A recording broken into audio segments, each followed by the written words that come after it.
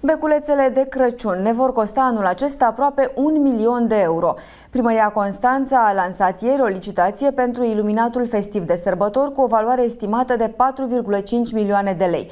Proiectul de iluminat va fi împărțit în trei loturi care acoperă principalele zone ale orașului, inclusiv zona peninsulară și parcurile.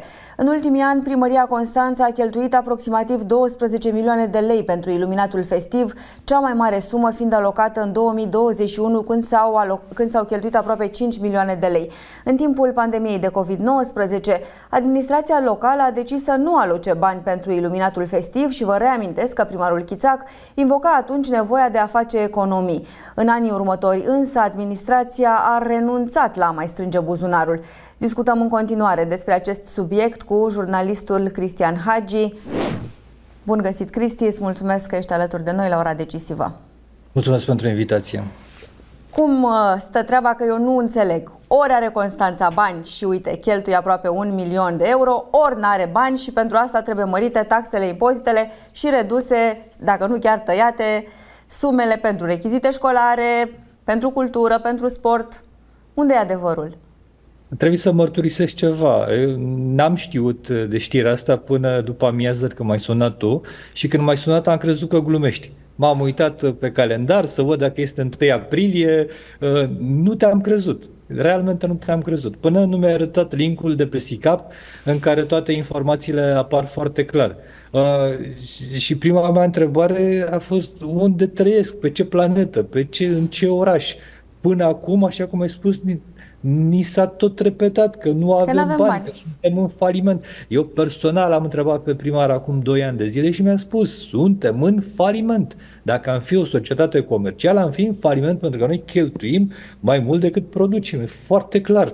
Acum, dintr-o dată, încă un milion de, de euro. Asta vine pe fondul unor discuții cu colegi de presă care îmi spuneau zile trecute, că în acest an primăria va aplica modelul din primul an. Adică se va duce la niște societăți comerciale și va spune, bă băieți, luați voi niște intersecții, amenajați-le, pe noi nu ne costă nimic, dar voi faceți puțină reclamă. Mi s-a părut incredibil ce, ce am văzut astăzi și ca să răspund direct la întrebarea ta, da, avem bani, nu, nu avem bani. Se pare că avem bani de spart pentru tot felul de prostii, îmi cer scuze pentru limbajul academic, dar nu pentru ce ne trebuie. Uh, mi se pare absolut halucinant. Am cerut un punct de vedere primăriei, am vorbit cu cei de la birou de comunicare, i-am rugat să ne transmită și pentru publicația mea, dar și pentru voi, le-am spus că intru în direct, un, un punct de vedere, să-mi răspundă la o întrebare. De ce era necesar? Uh, nu am primit niciun răspuns până acum. Probabil Poate vom că primi totuși. Sunt convins că la un moment dat uh, ne va, va găsi o explicație domnul primar. Dar nu va fi o explicație bună. Sunt convins de pe acum uh, de asta. Cristi, se mai poate face ceva odată lansat acest, această solicitare, odată lansată, s-ar putea retrage sau nu? Cum să nu? Avem uh, exemplul primăriei Constanța de acum două luni de zile, când i-a anunțat a anunțat niște asociații uh, non-guvernamentale că au câștigat câteva proiecte culturale, culturale. bazate pe legea 350, nu se semnaseră contractele, apoi primăria a spus, băi băieți, nu mai avem bani, nu mai face nimic. Avem un alt exemplu al, uh, al SIS, uh, Stagiunea Estivală Artelor Spectacolului, când nu se semnase niciun contract, dar primarul a spus, vă dăm 1,5 milioane de lei pentru a aduce niște trupe de teatru frumoase în Constanța, un, un spectacol deosebit. Uh, nu a mai dat acești bani. Deci evident că se poate face ceva. Da, sigur, se pot modifica lucrurile. Te aștepți la o reacție din partea opoziției? Păi mă aștept.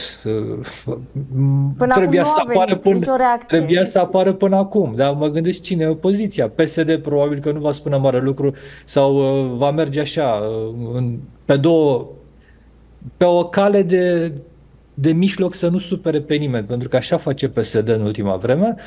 USR uh, sunt convins că, că va la poziție uh, și opoziția mai înseamnă cine? Ferice Ovanesian.